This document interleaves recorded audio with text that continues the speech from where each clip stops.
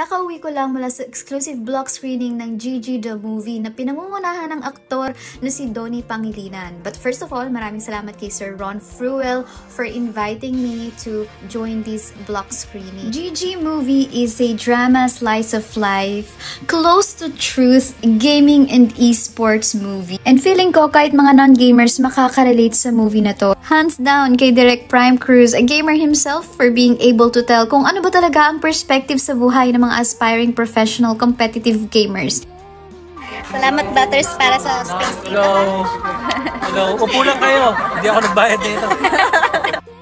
Sobrang ganda ng storytelling. Kayo na humusga, you really have to check out the movie. Ako mismo nakarelate because I'm a gamer, I'm a mom, I have a son who loves gaming. And ayun, sana magustuhan niyo rin yung movie as much as I loved it. Ako uulitin ko to definitely with my son next time. Soon, actually, habang showing pa siya. So ayun guys, panoorin nyo ang Gigi the movie. Pwede pang pamilya, pang magjowa, mag best friends, pwede ring solo, bata o matanda, gamer o hindi, makaka-relate dito. Supportan natin ang gawang Pilipino. Si Aiza hindi naiyak. Ako naluha talaga ako, promise. Dami kasing comedy eh. si Aiza.